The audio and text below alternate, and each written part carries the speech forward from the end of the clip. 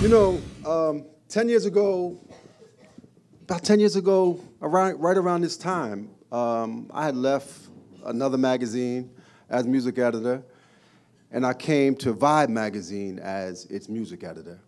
And one of the first stories that I assigned was my favorite album's 10 year anniversary. It was Illmatic. 10 year anniversary, 10 years ago, right around this time.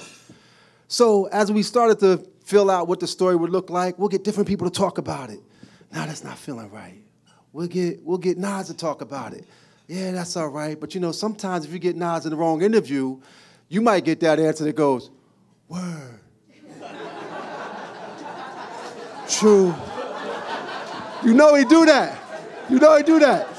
You know, you ask the biggest question of your life, and you'd be like, yo, I know he's gonna give it to me. And he'll be like, word.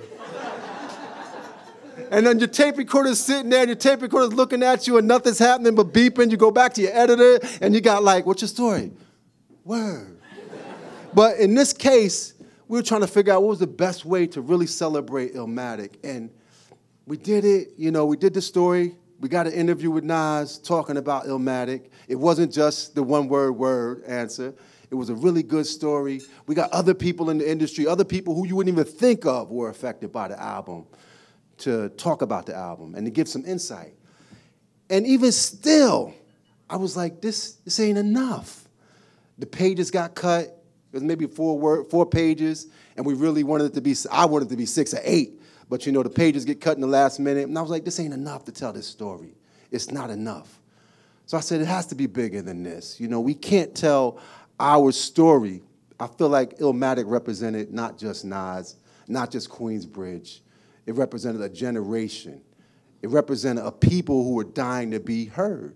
It wasn't just an album. I mean, I know Nas, you made the album, but it was something that must have come through you that was bigger than you. And I think that's what we respect about Nas today, is that every move he's made had something greater than the words that you hear. It was something that it was something that connected beyond just the words on the record. And that was from Illmatic to Life is Good.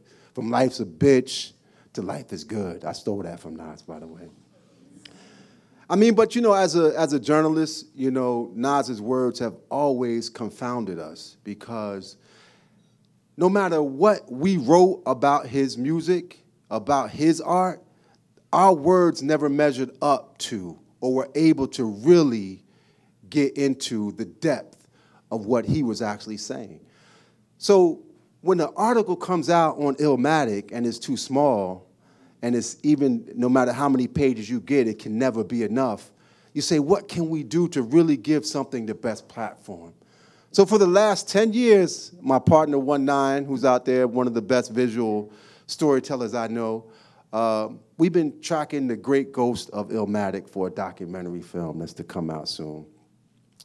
And in that documentary, we want to make sure that Illmatic and Nas's legacy is a legacy that extends beyond Nas. Again, his words have always been beyond just the records that we see. If you go back to Illmatic, starting with Illmatic, you know, life's a bitch. You know, people like to quote Nas's lyrics, but when you really listen to them and break them down, life's a bitch. I switched my motto instead of saying fuck tomorrow. That buck that bought the bottle could have struck the lotto. Now, what can be deeper than that? And then even when we critics criticize Nas for for for being commercial with Lauryn Hill in, in the song called "If I Ruled the World," what does he tell us? He would open every cell in Attica and send them to Africa. You know, these are lyrics that they inspire something greater to, than, than us. Don't sleep. Why? Because sleep is the cousin of death. These are things that speak to something beyond us. I mean, if and if you look at all throughout history, it was something greater. Even if in the heat of the greatest rap battle ever, when Nas uh, made the record Ether, and he said, at the heart of that battle but you're my brother, I love you. He showed us that there was something greater than when we were squaring off in this field and having a very bitter battle. There was something greater than that. I still love you as a brother. And that says that something is always greater than just what you see. And I think that the reason why Nas's lyrics have impact, the reason why his, his music has impact, is because it comes from something greater to include us all. My favorite poem of all time is one by Muhammad Ali. And I think um, Nas's career and his life has um, lived up to it. Two words, and it, goes with, I, I believe it tells us everything about Nas that we could imagine. The words me, we. You guys, some, some of you might know that from Muhammad Ali. He actually didn't write it, but that's another historical fact.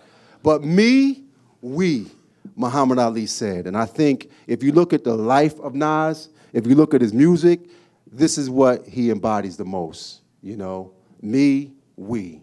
And for that, we want to thank you. Thank you very much.